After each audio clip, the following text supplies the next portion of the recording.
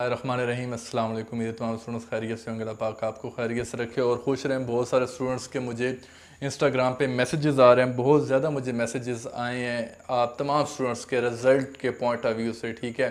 क्योंकि इंस्टाग्राम पे जो जो मुझे फॉलो कर रहे हैं तो अच्छी बात है और जो नहीं कर रहे तो जाके इंस्टाग्राम पे आप फॉलो कर सकते हैं। इधर मेरी आई आप स्टूडेंट्स को शो हो रही होगी। टेंथ क्लास स्टूडेंट्स का जिनका रिज़ल्ट आना है रिज़ल्ट के पॉइंट ऑफ़ व्यू से परेशान है बहुत।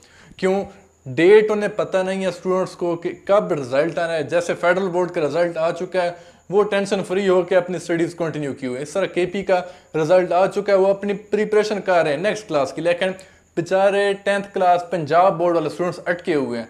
अभी मैं आपको बताता हूँ, जब आप गूगल पे लिखते हो टेंथ क्लास रिज़ल्ट 2020 क्योंकि हर किसी को रिज़ल्ट एक ऐसी चीज़ है, हर किसी को उसकी तलब होती है कि यार ये आए, पता चले किसमें सप्ली हैं कितने मार्क्स आए हैं। उस पॉइंट ऑफ़ व्यू से उसने आगे कॉलेज में एडमिशन लेना होता है प्री मेडिकल में या प्री इंजीनियरिंग में।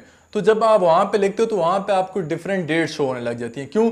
डिफरेंट लोगों की अपनी अपनी वेबसाइट्स होती हैं डिफरेंट अपने ब्लॉग्स होते हैं, ठीक है? अभी आप ये इंपॉर्टेंट बात, ये गौर से सुनना कि मैं आप तमाम स्टूडेंट्स को कहना, क्या बताना चाह रहा हूँ। ऑफिशियल जो वेबसाइट पे जो डेट आती है, ठीक है? ऑफिशियल वेबसाइट के लिए आप बी आई एस ई साथ लिखा करें। B I S E Rawalpindi जैसे पंजाब में जो जो बोर्ड्स आते हैं B I S C Lahore, Faisalabad, Sargodha, Multan, Rawalpindi, ये सहीवाल, भावलपुर, ये जो जो जो भी बोर्ड्स हैं पंजाब के, उसके पहले आप बी आई एस सी लिखा करें। जो बाकी वेबसाइट होती हैं, ये वाली वेबसाइट, ये वाली वेबसाइट, वो अथेंटिक नहीं होती, वो बोर्ड की कोई भी वेबसाइट नहीं होती। वहाँ पे जो भी आपको मटेरियल प्रोवाइड होता है, वो इंडिविजुअल किसी अपने बंदे का होता है। तो आप उस पर बिलीफ मत किया करें, वहाँ पे आए दिन डेट चेंज होती है, ठीक है?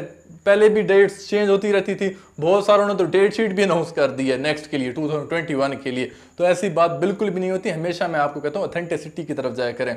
अब रिज़ल्ट की मैं बात करता हूँ, जब आप प्रमोट हुए थे, ठीक है? जब भी स्टूडेंट्स के वो प्रमोशन का एक लेटर आया था, ठीक है?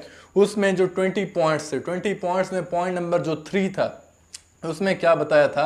बाकी स्टूडेंट्स तो प्रमोट हो गए थे, लेकिन जो टेंथ क्लास के पेपर चेकिंग होनी थी, ठीक है? उनके जो जो पेपर्स हुए थे, उनकी चेकिंग होगी और चेकिंग पंद्रह जून से शुरू होगी और उसके नवे दिन के बाद आप स्टूडेंट्स का रिज़ल्ट अनाउंस होगा। अगर वो देखा जाए तो वो नवे दिन आपके कब बनते हैं? वो नवे दिन 15 जून से लेके अगर 90 डेज़ उसके अंदर इंक्लूड करें तो आपके 15 सितंबर बनता है। तो मतलब इसका कि अगर उस पॉइंट ऑफ़ व्यू से देखा जाए तो आपका रिज़ल्ट 15 सितंबर से आएगा। जो ये बातें आप देख रहे हो कि आपका 5 अगस्त को आएगा 10 अगस्त को आएगा 20 अगस्त को आएगा तो ये बातें ठीक नहीं है। तो आप तमाम स्टूडेंट्स का 15 ऑफ़ सेप्टेम्बर तक रिज़ल्ट अनाउंस होगा। अल्लाह पाक, आप तमाम स्टूडेंट्स को कामयाब करे और मेरी नई ख्वाहिशात आप तमाम स्टूडेंट्स के साथ हैं। Best of luck for your result thank you Allah हाफिज़